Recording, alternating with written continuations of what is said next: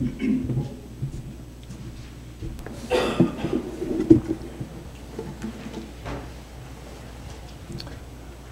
to see who we have in the audience. You know, last week when we were here, let me mention before I start, I always say through the door on the right hand side there are outlines. So if you're following along, if you'd like to review what I've said or if you'd like to check any of the verses used, uh, you can find those back there both for this evening and this morning's sermon. Last week I was talking and I made a statement, and then I began to think about that statement.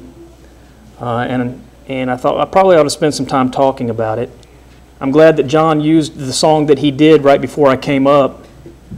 How beautiful heaven must be. That's important for us to remember as we look at the topic which is at hand today. I'm going to talk about our attitudes regarding death. And you may say, ah, we don't like to hear sermons like that, right? Well, I, I, mentioned last week when I was talking about dying, I said specifically, I'm not afraid to die. I'm just not ready to die yet. You know, I, I got things I'd like to do most of us don't like to talk about death. We don't like to think about death. I want you to, I want you to understand that really, for us as Christians, death is not a bad thing. We really ought not to look at it like it's something to be scared of or, or fearful. And you may think to yourself as we talk about this topic, especially for our youth, you may say, that's something I'm going to think about later when I get a little older. None of us is promised tomorrow. I was thinking about a preacher. I read this about a month or two ago. He got done preaching and he had just given the invitation call, and the person who, who wrote this up said he gave an amazing sermon uh, and a great invitation, and, and he sat down and he literally died right there. You're not even promised to make it through this sermon, I guess, this morning. But if I had to pick a way to go, I'll be honest with you. That can you imagine dying surrounded by Christians right after either hearing a sermon or giving a sermon?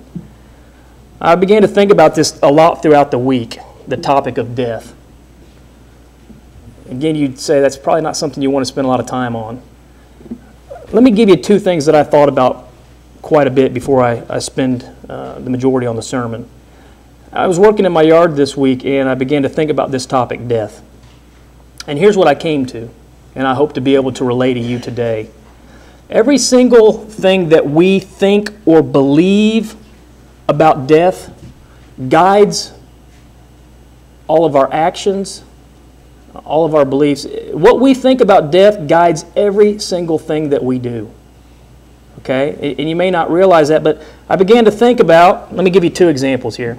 I began to think about, and I've mentioned to you that, you know, my parents, since I became a Christian, they, they don't really go out of their way to talk to me a whole lot. But I've also told you I don't go out of my way to talk to them a whole lot. And I thought about that for an hour or two, at least this week. You know why I think I came to the conclusion I don't spend much time seeking out a relationship with them? How many of you have family members who are not Christians and it's hard to look at them knowing that they're not righteous in God's sight and that when they die, they're not going to go to heaven? Well, I began to think about this sermon and I began to think about the fact that what I believe about death, what I know the scriptures teach about death, makes it hard for me sometimes, I think, to face reality.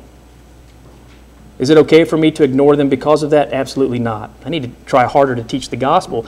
My point is this what we believe about death, it affects everything about us, it affects our relationships with other people. And then I began to think about one other thing. If I didn't believe that death led to the resurrection of the dead for the faithful, and if I didn't believe there was a place called heaven, which John just sang a song about, I certainly wouldn't be a Christian today. And I can say that because I'm going to be honest with you. There were things I enjoyed out in the world prior to Christianity that if there was no such thing as death and if there was no such thing as a place called heaven, I'd go back and continue to do that stuff. Why do I tell you all that? Because what we believe about death guides everything that we do. And so I hope that as we spend a little bit of time talking about death, it's going to encourage us to live so that we'll inherit eternal blessings. I hope that it's going to encourage us to have a desire to go out and to evangelize, especially to our family members who are, who are maybe not Christians. I hope it's going to help us to, to give answers to those who are seeking out what happens after death. I hope that it's going to encourage us to pray more fervently. I hope that it's going to encourage us to be more thankful to God because of what He has done for, for us on, on His behalf. I hope that it's going to encourage us to be steadfast in the faith. And so I want to talk about our attitude regarding death. Now, you know, if I'm going to talk about the biblical attitude regarding death, uh, certainly I'm going to talk about non biblical attitudes regarding death. And I'm going to start off in that area. And I'm going to give you a few of the common ones, some of them which are. Uh, which were very common in times past and seem to have resurfaced. I want to start off talking about an attitude um, which is the attitude of the Christian scientist. Now, you may say, I've never heard of that group. Isn't that a group that was popular at one time? This group that I'm going to talk about, which was founded by Mary Baker Eddy, was a large group, very prominent in its time. It has dwindled significantly, but it's been resurrected in different forms. And so I use that name to describe, if I had to describe it in terms you guys might know today, I'm going to use a movie. How many of you have seen The Matrix? Remember in that movie, reality was not reality? That's the, that's the thought process that I'm talking about here. It's what they believe, and it's what many people today are beginning to also believe. They believe that matter, sin, sickness, death, all that, none of it's real. Try to grasp your hands around that for a minute. None of that stuff's real. They believe that that's all in your mind, okay? They deny the reality of death. Now, they do this because they believe that man's not a physical being, that man's only a spiritual being. And so, because of that, man can't actually die. And they go so far as to say the only reason that a person dies is because he believes that he's no longer in fellowship with God. Does that sound like that's a little bit out there for you? You may say that's unusual. Would people even continue to believe that?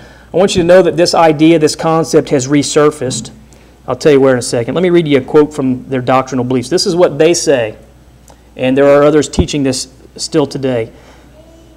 Death is the belief in death. There's no death, as humans are immortal spirits. After that, which we call death, spiritual development toward truth continues until all evil or error destroys itself. Heaven and hell are not places, but states of consciousness that continue after death. Heaven is the self made eternal bliss of re- realizing oneness with God and hell is the self made anguish of believing in pain and death. They said there's no such thing as heaven or hell. It's only what you make it to be in your mind. And yet I'm confused because I go back to Genesis 5, chapter 5, verses 5, 8, 11, 14, 17, 20, 27, 31, the list goes on and on, where he says uh, they died. He doesn't say they believed they died, he says they died. Okay? The Bible shows us time and time again that people actually die. Death's a reality. How many of you have ever seen a, a dead body? You ever been to a funeral home? I've been there. They say that's not real. It's not real. The only reason that guy's no longer alive is because he's come to the realization that he's no longer uh, in the presence of God. And as I thought about this teaching, this is being taught uh, by many people in the New Age movement. That may not be something familiar you're familiar with. If you want to watch some of that air, uh, you'll see that being promoted on Oprah Winfrey's channel. She brings these people on, they teach this. Uh, a number of the people teaching this. One of them, actually not far away from here in Warren, Michigan, is the dominant people teaching this. Um, it's the idea that, that heaven and hell, they're not even real. It's only what you make it in your mind. And if, you, if, you, if it's what you make in your mind, then in essence, really everybody's going to go somewhere. And they can all go to heaven as long as they all have heaven in their mind. Does that sound crazy to you? It is, but it's re-emerging and it's being taught by many different people. Okay, so that was one of the things I began to think about. That's an attitude that's becoming more prevalent. You've got the attitude of the escapist. Now, this is a person who fears death, and so they just try to avoid all mention of it. And I, I think about an example would be Louis the Fifteenth. Maybe you have read about this. He forbid his servants from ever mentioning the word death in his presence. Don't say it. And you know why? And this idea that if people talked about it, it might make it actually happen. There are people today that do this. You, you, look at different cultures, the Chinese culture and some other cultures believe that if you even mention the word death, you're, you're, bring, you're inviting it to come in, right? And so they're very fearful. They're, they, don't, they want to ignore it, they don't want to talk about it. That approach doesn't really bring a whole lot of comfort. Uh, just ignoring something, this is okay, I'll talk to the men. How many men are like me? How many don't go to the doctor? I don't go to the doctor. Haven't been to one in years. If I fell over and died, my wife probably wouldn't be surprised. I haven't been to a doctor since. Because in our mind, we think if we don't go and we don't receive bad news, it doesn't really exist, right? If he hasn't told me that I'm sick, then I'm not sick. That's the idea of the escapist who doesn't want to talk about death. If I ignore it, maybe I'll outlast it or it'll go away. Well, there's a lot of problems with that. Uh, again, that doesn't bring any comfort. Okay?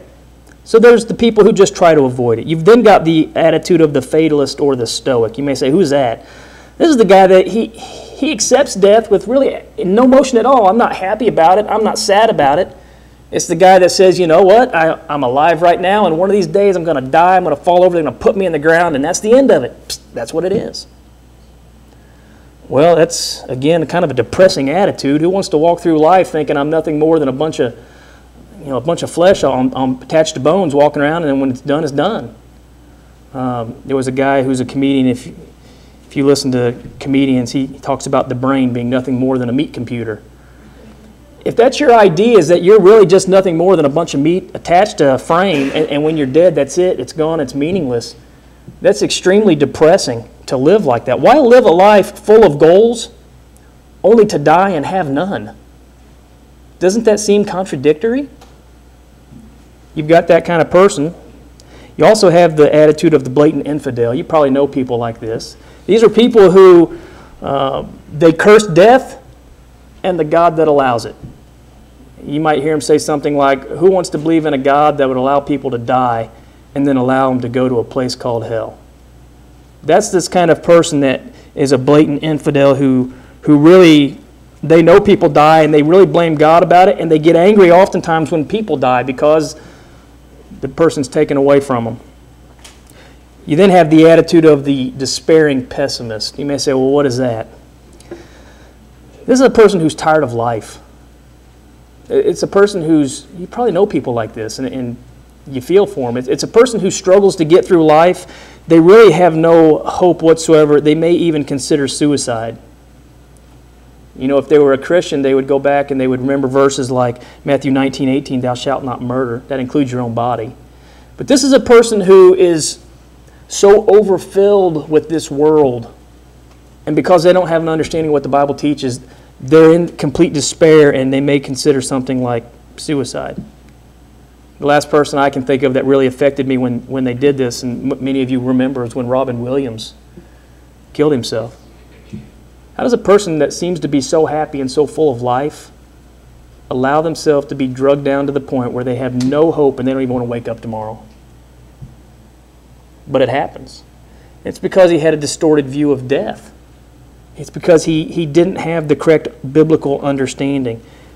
I wish he would have gone back and looked at verses, although this pertains directly to Christians. But 1 Corinthians 6 19 through 20 says, What? Know ye not that your body is the temple of the Holy Spirit which is in you, which ye have of God, and ye are not your own? For ye are bought with a price. Therefore, glorify God in your body and in your spirit, which are God's. I wish a true Christian would have been able to talk to Robin Williams before he got to that point. Because I guarantee you, if, you, if somebody who was a Christian had talked to him and had taught him the gospel and brought him to understanding of Christianity and death and what happens after death, I guarantee you he'd have never done that. I guarantee you.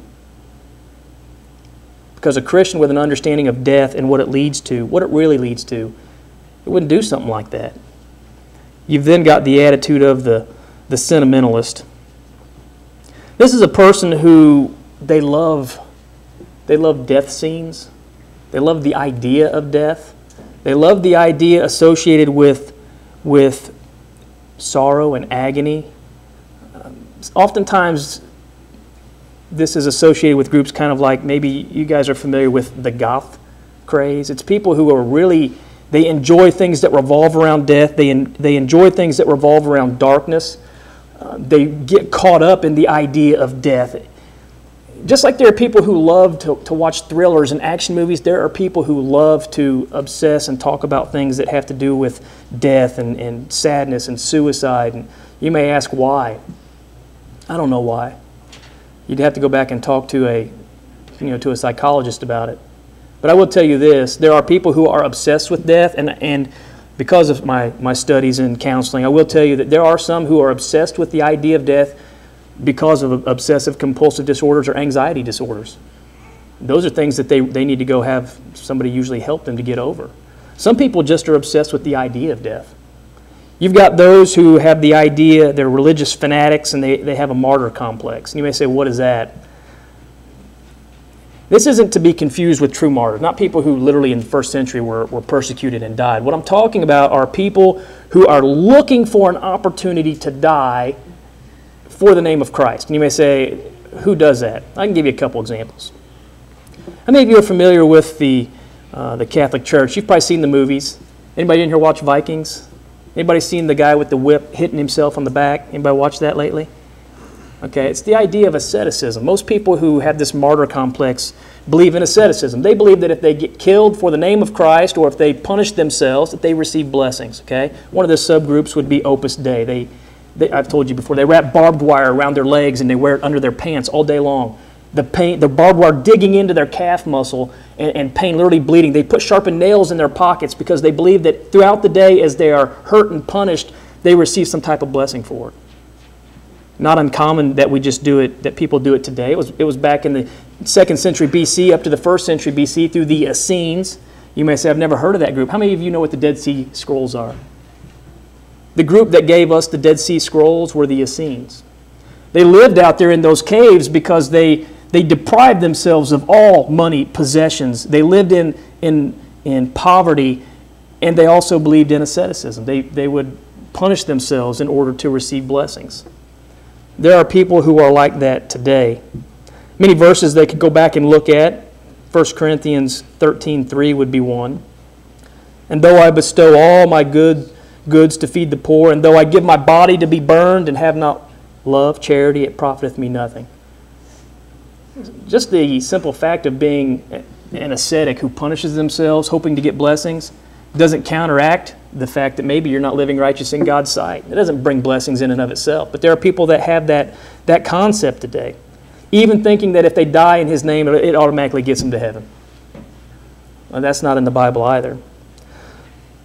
Well, so then how do we as Christians, amongst all this error, how are we to try to view death? Well, certainly I think the way we would view death as Christians is to view it as the Bible views it. And so what I'm going to do is I'm going to talk a little bit about death what the Bible says about death and hope it gives us a little understanding. I'm going to tell you, most people, when they preach about death, they preach about it from a very negative aspect. I hope that as we go through this topic, you're going to find this is a very positive aspect. The reason we look at it as negative is because in our mind we've made it negative, okay, as Christians. The Bible doesn't teach about this being a negative topic. So let's talk a little bit about biblical attitudes uh, towards the death of the righteous. For those of us who are followers of God, death is a very precious thing. You go back to the Old Testament, uh, from, from the very beginning, those who were followers of God, they believed that dying was actually something that was wonderful, that was precious. Listen to Psalms 116, 15. Precious, is, precious in the sight of the Lord is the death of his saints. Followers of God have always had a biblical understanding that dying as a faithful follower of God is a good thing. And so we could look back in the Old Testament, we could begin to look then into the New Testament, and you're going to find the exact same thing. The reason is, is because viewed from God's perspective, when somebody dies, it simply means that that child of God is getting to come home. How many of you seen stories recently? I've seen them this week on your Facebook page about people who are missing from home, runaways. Uh, there's a preacher down south that's missing. Uh, he's in his 80s, I believe. But imagine how exciting it is when somebody who's been lost or who has been separated finally gets to come home. What a wonderful moment. And that's what we see here as we look at the scriptures. That's the proper way to think about death. How many of you have been to a funeral where they call it a homegoing? Has anybody ever seen that word? They don't call it a funeral, they say we're going to a homegoing. That's the right way to think about death, right? It's not just some dead person in a box who's laying there uh, and, and the world is, is over for them and that's it. When they left, it was their homegoing if they were faithful Christians. So why do we cry? It's because we're selfish. I'll talk about that in a minute. But for Christians who know where they went, we cry because we're selfish, but we don't cry because uh, they're taken from us. We know where they're going. The biblical attitudes about death for the Christian is that we're removed from evil and we're at peace. Listen to Isaiah 57, 1 through 2. He talks again about the followers of God. The righteous perisheth, and no man layeth it to heart, and merciful men are taken away, none considering that the righteous is taken away from the evil to come. He shall enter into peace. They shall rest in their beds, each one walking in his righteousness. You know, in, in times of trouble and despair, the righteous are often caught up in moments of the loss of life. I was just talking about when someone dies, oftentimes we are upset, we're angry at God, we're hurt that they're taken from us. And the reason is is because oftentimes we are selfish. I look at death much different now as a Christian than I did before, but I will tell you, um, it is hard for me to go to a, a funeral for a Christian that I know has been faithful, not because they died. I mean, I know where they go. Usually it's hard for me because when you take a Christian away from the congregation, that's one less person to encourage, to strengthen, to build us up, to give us the example of faithfulness. I don't cry because they're gone. I cry because they're not here to help build us up and strengthen us. I don't cry so much for those who I know are non Christians. I struggle with that a little bit. But when they've made that choice to reject God and His Word, and they've known, they bring that upon themselves. But for the Christians, it's, it's hard for us to lose somebody who builds up the congregation. We have to consider it from a very positive perspective. This Christian, this person who died, they have finally gone to their reward. They no longer have to deal with evil, they're now in peace. And yet we cry because we miss them.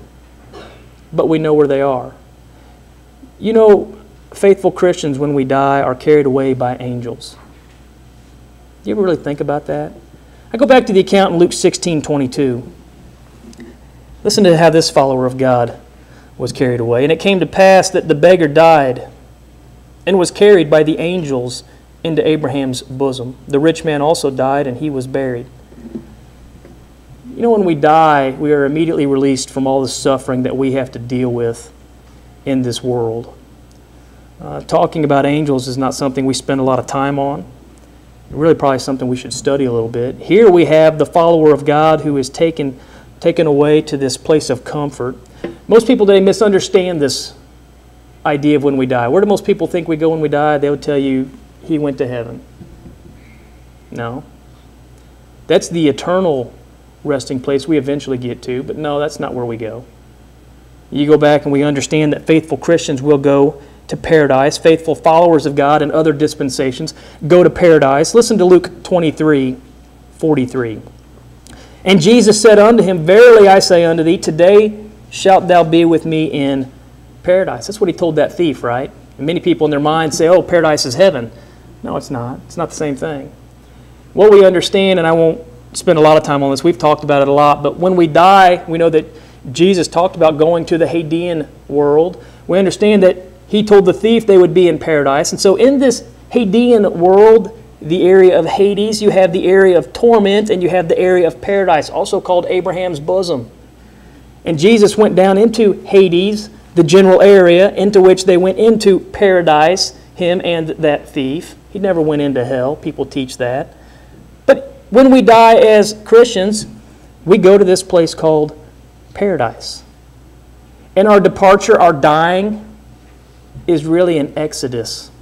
It's an exiting, it's a leaving. Paul viewed his death as a, as a departure. Listen to 2 Timothy 4 6. He says, For I am now ready to be offered, and the time of my departure is at hand. That word departure there, listen to this. That word is exodus. That word actually means to decease. It means to exit. It means to leave. It's the exact same word describing the exodus we read about in the Old Testament when the Israelites were taken out of Egyptian bondage. Imagine he uses the word exodus. The same word in which they were released from bondage is the word he uses to describe the death that allows him to then go to paradise. You see the key in that word, Exodus? Peter uses this word, Exodus. 2 Peter 1.15, Moreover, I will endeavor that ye may be able after my decease to have these things always in remembrance. That's why Peter uses this word here. I might have said Paul, it's Peter that uses this word. Paul looked at it as a departure, but Peter calls it the Exodus. And the reason they can look at this with, with an excited attitude is because death is gain. Death is something far better than what we have right now. I know that doesn't seem normal in our minds, but it is. It doesn't seem right. We don't want to die. I don't want to die. I said, I got things I'd like to do. But if I were to die, and if I were to be found righteous, so I could go to this place, paradise, wouldn't it be a hundred million times better than what I have right now? But in our mind, for some reason, we look at death as being evil. It's horrible. Why? Because it takes it away from takes us away from our loved ones. But it's far superior than what we have right now. Listen to Philippians 1 21 through 24 and, and Paul really has this figured out. And I think if you were to be honest with yourself, this would sum up how you think, and I think it sums up how I think. For to, for to me, to live is Christ, and to die is gain. But if I live in the flesh, this is the fruit of my labor. Yet, what I shall choose, I want not. For I'm in a strait between uh, betwixt, betwixt two. He says, I'm stuck between these two, these two concepts. Having a desire to part, I want to go to heaven, he says, and to be with Christ, which is far better. But he says, here's my other option. Nevertheless, to abide in the flesh is more needful for you. I want nothing more than to go to heaven. But you remember I said, I still got things I want to do. Paul says, you know what's more needful for me to be here right now with you? I want to go to heaven, but I still got stuff I need to do. I got stuff I want to accomplish, but I want to go. Just not yet.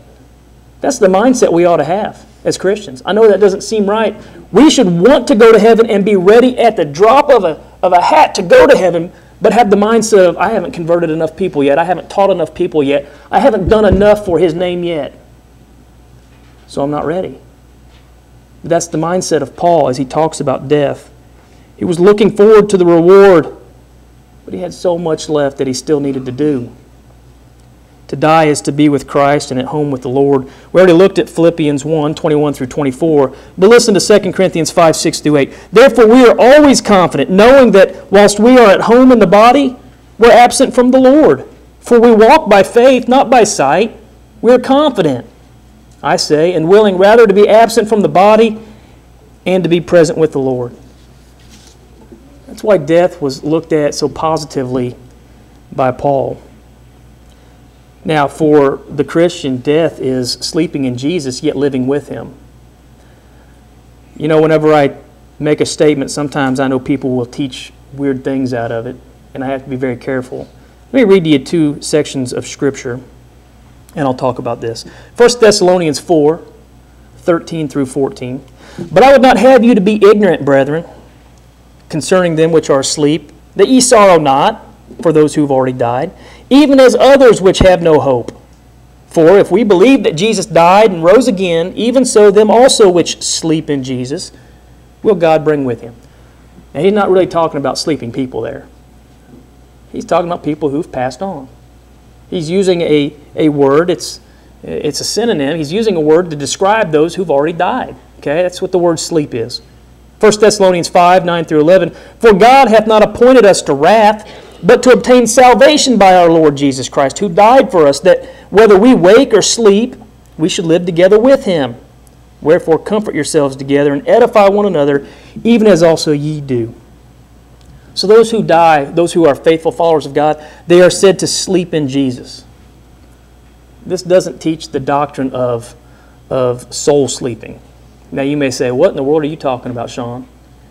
That's something that somebody, obviously, with a PhD and a whole lot of intellect was sitting around one day and they just came up with. Came up with the idea of, you know, when you die, your soul goes to sleep. Uh, as a matter of fact, they gave it a big name. I'll give you the big name. You'll probably not remember it. It's actually called the doctrine of conditional immortality. Sounds impressive. I guess the more impressive you make something sound, the more believable it is, right? Well, what that means is, is, is that, well, your soul just, it, it, it ceased or it's no longer existent. There's a couple different things taught regarding this. Uh, it's taught primarily by the Jehovah's Witnesses and the Seventh day Adventists, although they teach different things regarding it, so I'll tell you real quick. To be more exact, the Jehovah's Witnesses teach soul annihilation. So when you die, your soul just, it's gone. And when I talk to them, I say, So what happens then to the soul? And they said, If you are a Jehovah's Witness, a faithful follower of Jehovah, then at the judgment, the soul is brought back. Boom.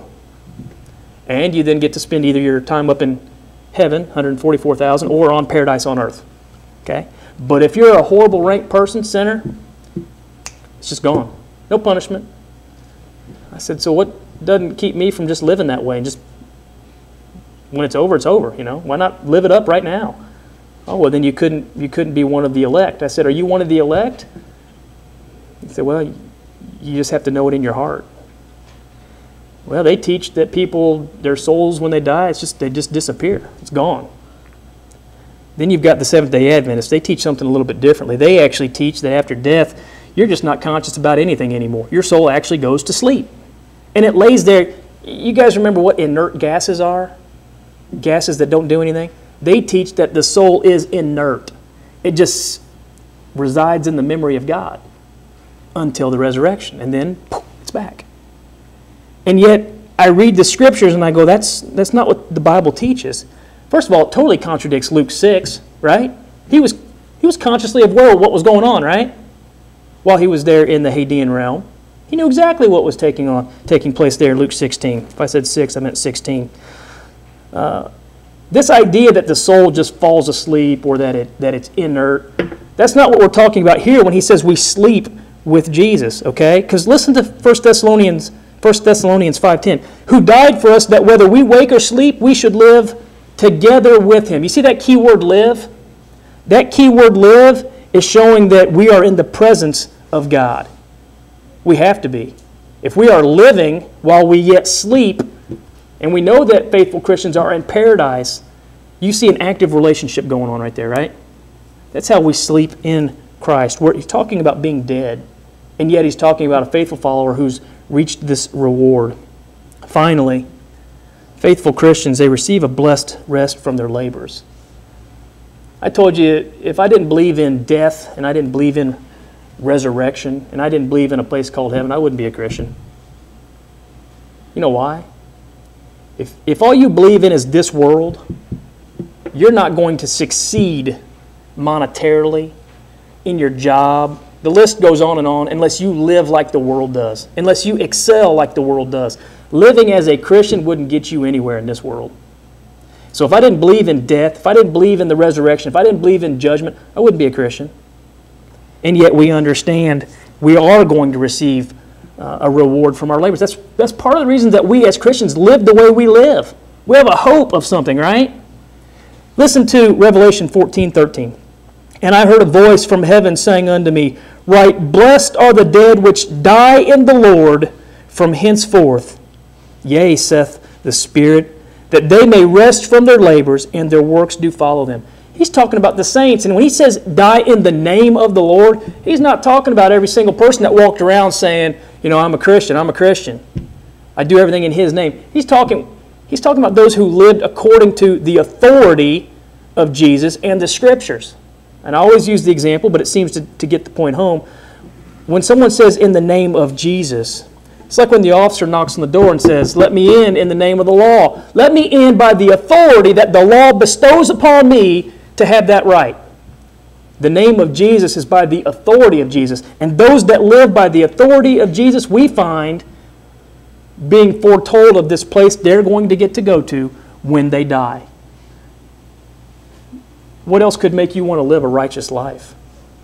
What else could make you not be fearful of death, but knowing that? Revelation 14 12. Here is the patience of the saints. Here are they that keep the commandments of God and the faith of Jesus. I hope that's sufficient to make you want to live a faithful Christian life. We all have different ideas about what we believe is going to happen when we die whatever we believe about death and what's going to happen needs to be in alignment with the scriptures. I only covered a little bit about death today. The study on death, if we were to do it here, probably take forever. We don't seem to move through studies very quick. But I hope the short time we've spent today changes your mind a little bit about the idea of death. And as I told you before, you're not guaranteed tomorrow. I'm not. I could walk out the door and as I'm taking the trash to the road, get hit by a dump truck or something. It could happen. But here's the thing because I have faith, because I have knowledge, and because I have understanding, I am freed from fear and death, and you can be too. Listen to Hebrews 2 14 through 15. For as much then as the children are partakers of flesh and blood, he also himself likewise took part of the same, that through death he might destroy him that had the power of death, that is the devil, and deliver them who through fear of death were all their lifetime subject to bondage. Am I afraid to die? No. But I'll tell you this, I don't, I'm not ready to go yet. Like Paul said, I got stuff I want to do. I got people I'd like to convert. I got people I need to teach. I want you to ask yourself as I draw this to a close have you been freed from the fear of death by a correct understanding of death and what it brings? And have you been added to the church so that you don't have to worry about it? That's the ultimate question we're going to look at today as I draw this to a close. Have you been added to the church? You may say, what are, what are you talking about? I'm talking about being a, being a faithful Christian.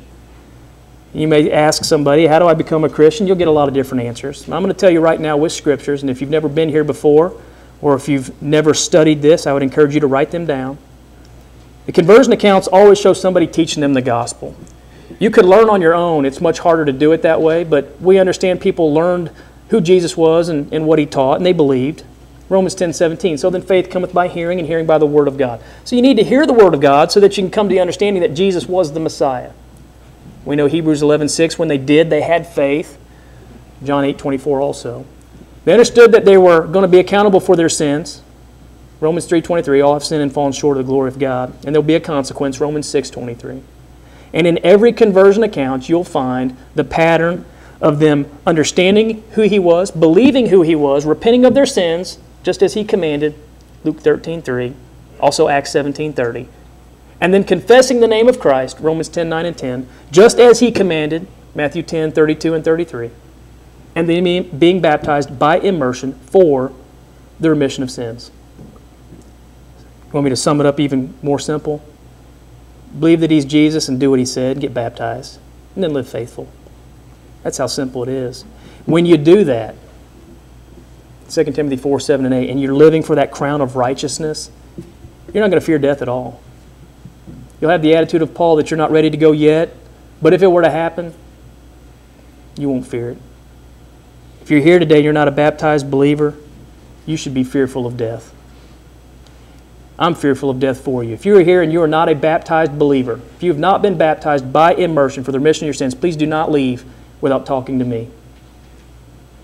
Because if you were to die, you're not going to be found righteous in God's sight. That's not my opinion. I'll give you the verses.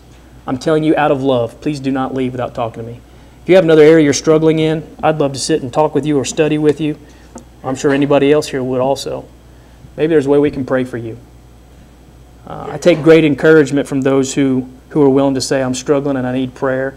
And I don't have a problem telling you when I'm, when I'm doing that. Sometimes I struggle and need prayer too.